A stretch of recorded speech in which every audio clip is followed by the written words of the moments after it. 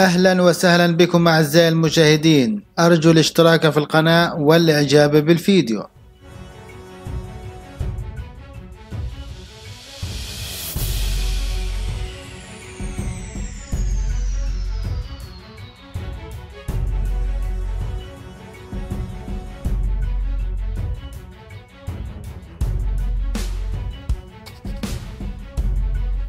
الفنانة رنا أبيض لا تخجل من عمرها وشاهد طليقها وابنها.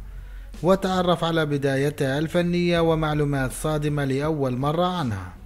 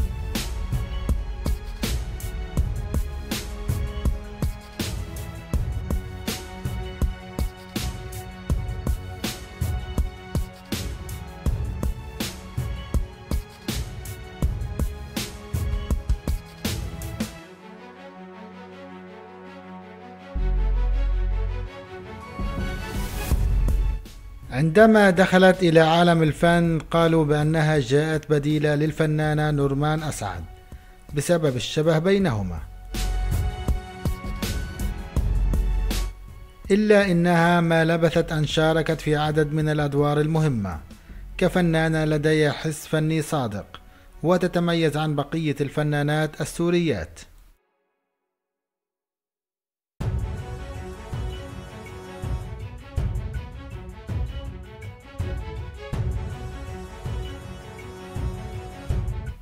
وتزوجت الفنانة رنا أبيض من عصام طوغلي وأثمر هذا الزواج عن ابنها الوحيد يوشع لكنها لم تستمر معه طويلا وانفصلت عنه.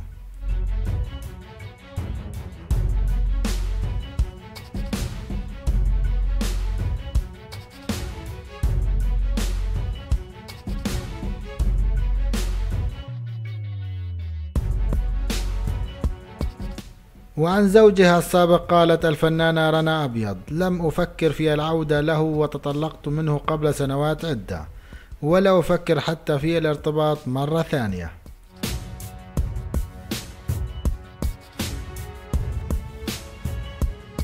وبررت عدم زواجها مرة أخرى قائلة لم أجد ذلك الرجل الذي يعبي عيني تماما ويشعرني برجولته.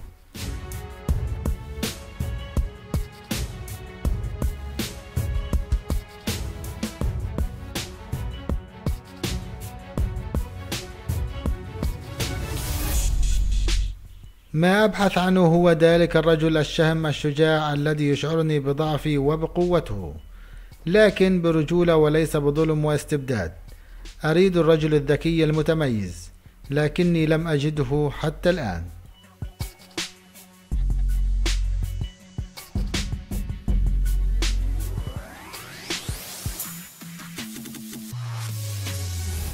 وربما اسم يوشع هو غريب على مجتمعاتنا العربية. ولكنه ليس غريبا عن الكتب السماوية. والكثير من النشطاء هاجموا الفنان رنا الأبيض بسببه معتقدين أنه اسم يهودي وهو ما ليس صحيحا فهو اسم أحد الأنبياء وليس مخصصا لليهود فقط.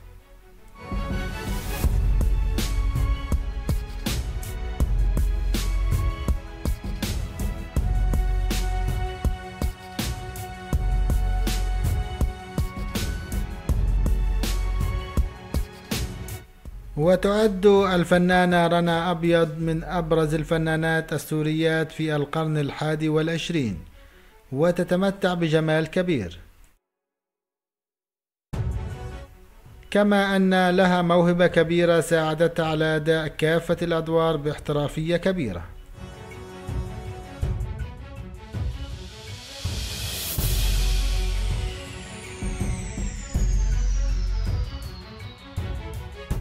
وكانت تحب التمثيل منذ الصغر وقد لقيت الدعم الكبير من أهلها لكي تدخل هذا المجال نظرا لموهبتها الكبيرة. وبعد أن نالت الشهادة الثانوية العامة أرادت التسجيل في المعهد العالي للفنون المسرحية لكن التسجيل كان منتهيا.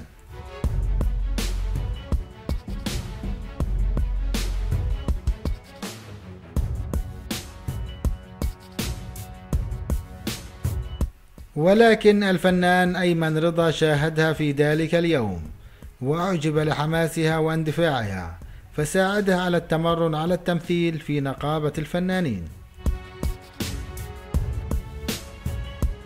وبعد ذلك انضمت الفنانة رنا أبيض إلى نقابة الفنانين السوريين وأصبحت عضوا من أعضائها.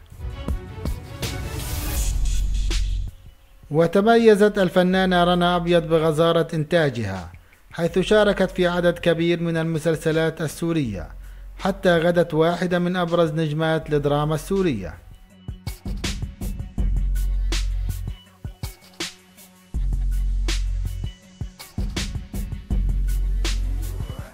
وتنوعت أدوارها ما بين الأعمال الاجتماعية المعاصرة البدوية والتاريخية وغيرها. إلا أن الفنانة رنا أبيض عرفت بأدائها للأدوار الصعبة المعقدة التي تعتمد على شخصية المرأة الجميلة المثيرة التي يسندها إليها المخرجون دائما. ومن خلال تلك الأدوار حصلت على جائزة أفضل ممثلة عن دورها في مسلسل لورنس العرب. وجائزة عن فيلم غراميات نجلة. ورغم نجاحها في تلك الأدوار لا تريد أن تصبح أسيرة تلك الشخصيات. وتتطلع دائما إلى تنويع أدوارها لتشمل كل الشخصيات النسائية في المجتمع. وتحظى الفنانة رنا أبيض بشعبية كبيرة داخل الوسط الفني وخارج الوسط الفني وذلك نظرا لشخصيتها المحبوبة وروحها المرحة. وتألقت الفنانة رنا أبيض في أداء عدد كبير من الأدوار ويعد دورها في مسلسل الحصرم الشامي من أبرز الأدوار التي لعبتها خلال مسيرتها الفنية. وشاركت بالعديد من المسلسلات والأعمال الفنية في سوريا وعرفت عبر عدد من الأدوار إضافة لمشاركتها في أعمال فنية عربية في الإمارات والكويت والأردن والبحرين والعراق.